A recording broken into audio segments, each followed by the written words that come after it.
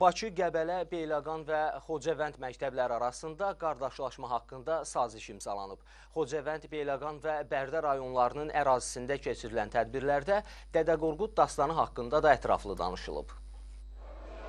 Kitab-ı Dədə Qorqud dastanının öyrənilməsinin və nəşrinin 200 illik yubileyi ilə əlaqədar keçirilən silsilə tədbirlər çərçivəsində növbəti yığıncaq Xocavənd rayon ərazisində oldu. Bilik fondunun təşkilatçılığı əsasında baş tutan toplantıda dastanda adı çəkilən Qaraca Çobanın məzarının Nərgiztəpə qədim yaşayış məntəqəsində olduğu xüsusi vurğulandı. Bu çərçivədə Beyləqan rayonunda da tədbir düzənləndi. Burada Bakı şəhəri elitar gimnaziya, Qəbələ rayonu Niçkəndi orta, Beyləqan şəhəri bir saylı tam orta və Xocavənd rayonu Salakətin kənd tam orta məktəbləri arasında qardaşlaşma haqqında saziş imzalandı.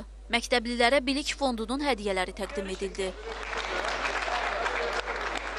Azərbaycan Respublikasının prezidenti cənab İlham Əliyevin verdiyi sərəncamla Kitab Dədə Qorqud dastanlarının öyrənilməsinin və nəşrinin 200 illiyi qeyd edilir.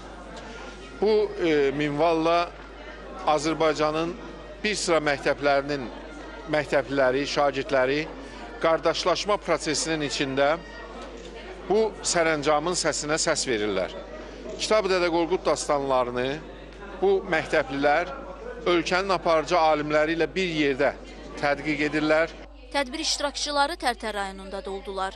Burada keçirilən görüşdə ermənilər tərəfindən Dağlıq Qarabağa köçürülmələrinin 150 illiyi münasibəti ilə tikilən Marağa 150 abidəsinə dair müzakirələr aparıldı.